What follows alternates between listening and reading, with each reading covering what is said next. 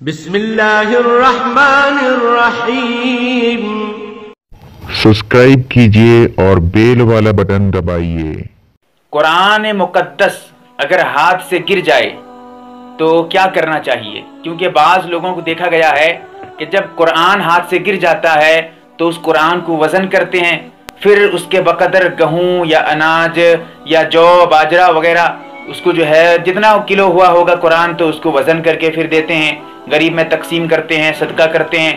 تو بہرحال، شریعت کا کیا حکم ہے؟ اگر قرآن ہاتھ سے گر جائے تو مسلمانوں کو کیا کرنا چاہیے؟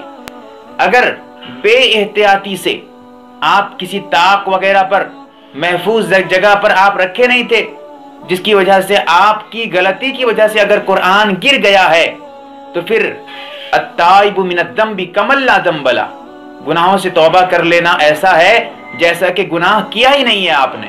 لہٰذا اگر ہاتھ سے قرآن گر جاتا ہے اور غلطی سے گر جاتا ہے تو پھر ایسا ہے جیسا کہ گناہ آپ سے ہو گیا ہے، آپ معافی مانگ لیں، توبہ کر لیں۔ اللہ سے معافی مانگیں کہ آپ سے غلطی ہو گئی ہے۔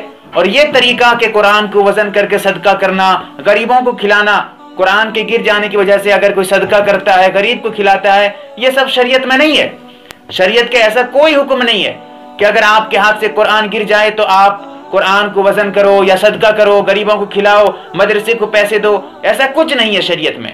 شریعت میں یہی ہے کہ اگر آپ کے ہاتھ سے قرآن گر جاتا ہے یا طاق وغیرہ سے آپ کے بے احتیاطی کی وجہ سے قرآن گر جاتا ہے تو پھر معافی مانگے اللہ سے، توبہ کریں۔ اللہ سے جو ہے کہیں کہ مجھ سے غلطی ہو گئی۔ بس یہی اس کی تلافی ہے، یہی شریعت کا حکم ہے۔